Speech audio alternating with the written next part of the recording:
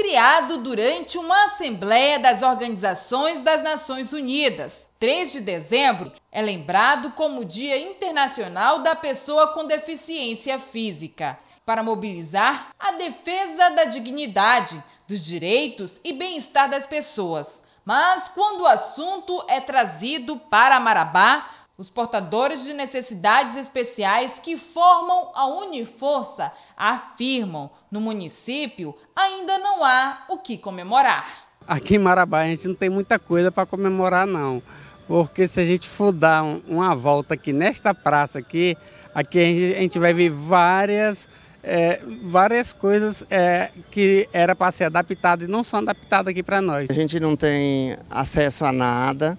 Bem dizer, tá toda algumas partes da, da, da rua a sinalização está errada, né?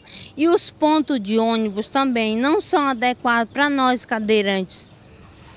A parada não tem abrigo, é no sol. Muito se tem falado sobre a acessibilidade, mas ainda estamos longe do que é ideal. A luta pelos direitos da pessoa portadora de deficiência é grande e é preciso o apoio não só do poder público, mas também de toda a sociedade. O que precisa para melhorar a vida de nós portadores de necessidades pessoais é a, a prefeitura adequar as calçadas num nível certo para nós aqui na cidade, é, que é um desrespeito, é a população respeitar as, as rampas para os portadores de necessidades especiais, onde eu já fui muito, posso dizer assim, que eu me sinto humilhado na hora que eu chego no, no local, que eu subo e na hora de voltar tem um carro. Então na hora que eu quero entrar em alguma loja que tem a rampa, chega lá, tem um carro de um bonitão